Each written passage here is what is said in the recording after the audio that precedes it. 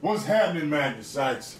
Got me a new t-shirt today from a company called Exclusive. I like this. Feels good and it fits good, you know what I'm saying? I'll post the link in the description box so y'all can check it out. See what y'all want. Now, I'm about to get this reveal trailer on for Zangief. That's what I call him. Zangief. That's what I called him in high school when it came out, and that's what I'm calling him now. I refuse to pronounce names the way they're supposed to be pronounced because for years I pronounced them that way. So it's Ryu, Zangief, Sagat, and Blanka. Let's get it. My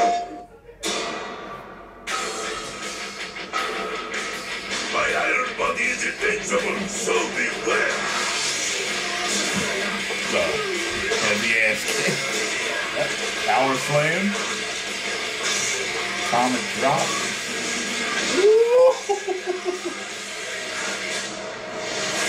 oh, yeah, power bomb.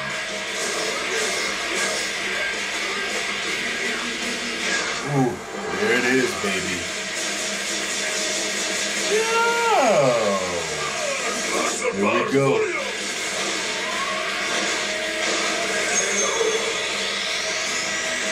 What was that? Three different suplexes?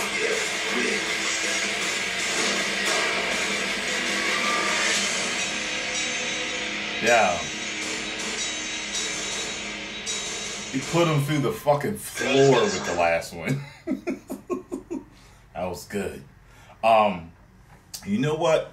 Um, for years, years I was in the Street Fighter and I would read every piece of information I could get on it. And I remember reading in a few different articles that there's a lot of players that believe Zangief is literally the best player in the fucking game.